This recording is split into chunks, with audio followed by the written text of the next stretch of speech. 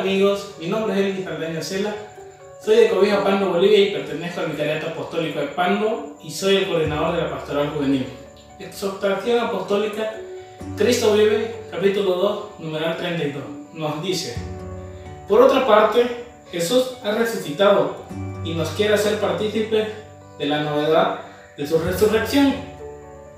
Él es la verdadera juventud de un mundo envejecido y también es la juventud de un universo que espera con dolores de parto ser revestido con su luz y con su vida.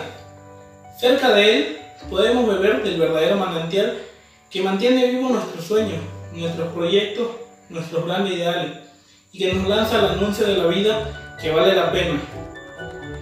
En dos detalles curiosos del Evangelio de Marcos puede advertirse el llamado a la verdadera juventud de los resucitados. Por una parte, en la pasión del Señor aparece un joven temeroso que intentaba seguir a Jesús, pero que huyó desnudo. Un joven que no tuvo la fuerza de arriesgarlo todo por seguir al Señor. En cambio, junto al sepulcro vacío, vemos a un joven vestido con una túnica blanca, que invitaba a perder el temor y anunciaba el gozo de la resurrección. El Papa Francisco nos dice que sigamos el ejemplo del segundo joven, que sigamos a Dios sin temor alguno, que sigamos a Dios dejando todas las cosas materiales de lado para servirle fielmente, porque Él es el camino a la verdad y a la felicidad.